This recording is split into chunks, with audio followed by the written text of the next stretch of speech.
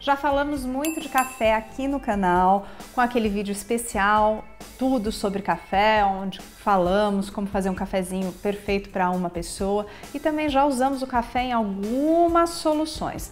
Mas hoje, em especial, o vídeo vai mostrar sete usos para a borra do café. Sabe o pó que você usou para passar o café e sobrou na cafeteira? Hum, então, ele tem várias utilidades que eu vou te mostrar agora.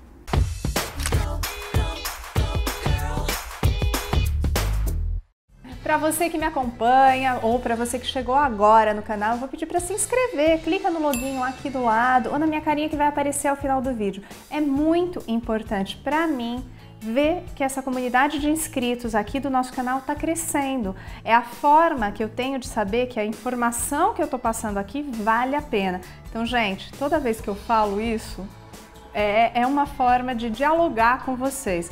Uh, eu tô aqui em vídeo falando e vocês estão do outro lado escutando. Ou vocês me deixam comentários ou se manifestam se inscrevendo no canal. É uma forma de eu conseguir falar, de eu conseguir saber o que vocês estão achando aí do outro lado, tá bom? Assim como os joinhas que são deixados nos vídeos é um, são um carinho que vocês deixam para mim. Vamos falar dos usos da borra do café. Então, passou o cafezinho, sobrou aquele pó, o que, que você vai fazer com ele? Uma das coisas, um dos milagres que esse pozinho de café usado faz é tirar graxa ou tinta das nossas mãos.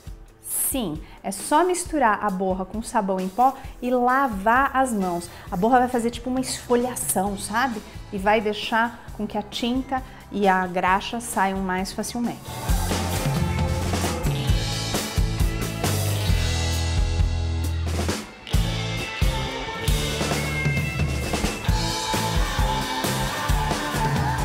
Essa dica é clássica para afastar formigas. Se você colocar a borra do café no seu lixinho, as formigas vão embora. E se você quiser tirá-las, assim, se você tiver traçado a trilha, né, aquele caminhozinho que as formigas fazem, coloca a borra no caminho que elas não vão vir mais.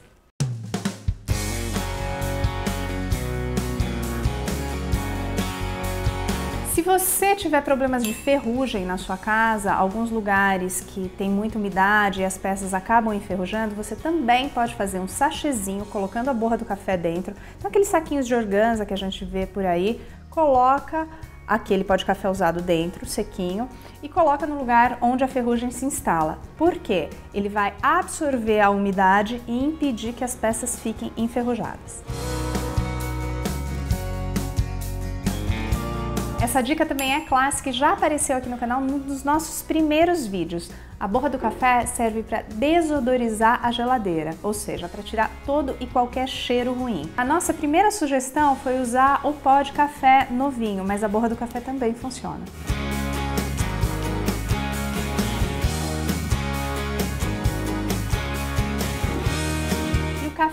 Mágico também para tirar qualquer cheiro das nossas mãos. Pode ser cheiro de água sanitária, aquele que fica aquele danado, ou aqueles cheiros de tempero, sabe? Cebola, alho, que quando a gente cozinha ficam todos impregnados. Então, borra do café funciona.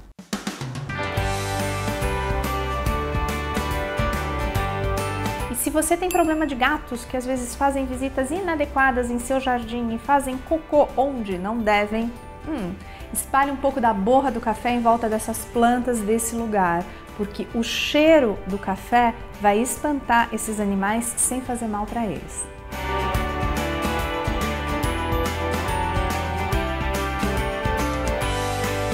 E por falar em plantinhas, a nossa última dica é colocar a borra do café, o pó de café usado, nas plantas, adubando-as a cada 4, 5 meses. O nitrogênio presente vai fazer com que elas fiquem cada vez mais bonitas. E você vai economizar com sabedoria, deixando a sua casa mais linda.